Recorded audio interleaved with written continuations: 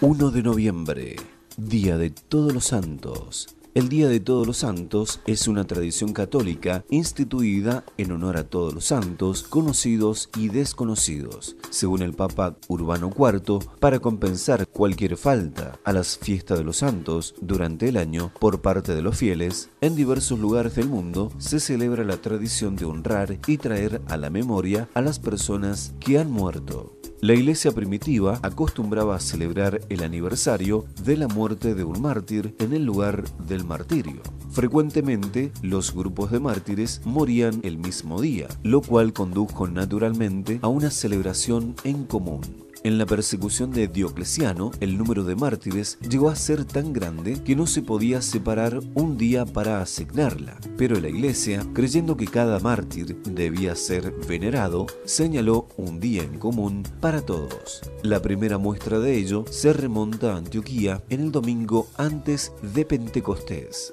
También se menciona ese día en común en un sermón de San Efrén el Sirio, en el 373. En un principio, solo los mártires y San Juan Bautista eran honrados por un día especial. Otros santos se fueron asignando gradualmente y se incrementó cuando el proceso regular de canonización fue establecido. Aún a principios del 411 había en el calendario caldeo de los cristianos orientales una conmemoración confesorum para el viernes. En la Iglesia de Occidente, el Papa Bonifacio IV, entre el año 609 y 610, consagró el Panteón de Roma a la Santísima Virgen y a todos los mártires, dándole un aniversario. Gregorio III consagró una capilla en la Basílica de San Pedro a todos los santos y fijó el aniversario para el 1 de noviembre.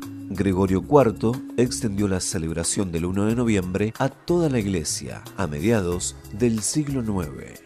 La Sagrada Biblia llama santo aquello que está consagrado a Dios. La Iglesia Católica ha llamado santos a aquellos que se han dedicado a tratar de que su propia vida les sea lo más agradable posible a nuestro Señor.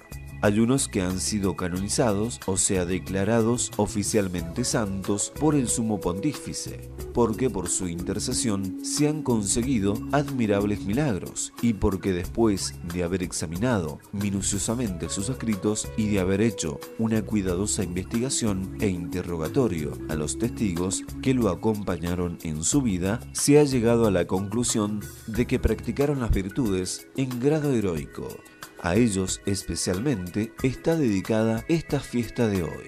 La Santa Biblia afirma que al Cordero de Dios lo sigue una multitud incontable.